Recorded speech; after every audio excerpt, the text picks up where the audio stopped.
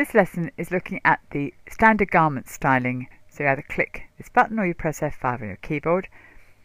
You are asked then what sort of styling you want to do, and you are working the standard garment styling. So these are just uh, from the database within Designaknit. So we can work with a new garment, an existing garment, or we can enter custom sizes to start our garment. So initially we'll start with a new garment, and you then are asked to select the garment type you want to work with. You can choose ages, genders, garment type. Self-explanatory. Uh, the sleeves might be less self-explanatory. You have a straight sleeve. You have a raglan, which is a diagonal line that goes from the under the arm to the neckline. You have a set-in sleeve, which means it's a curved sleeve. And you have a saddle sleeve, which takes the top of the um, sleeve across the shoulder to meet the neckline. Then you have front necks and back necks.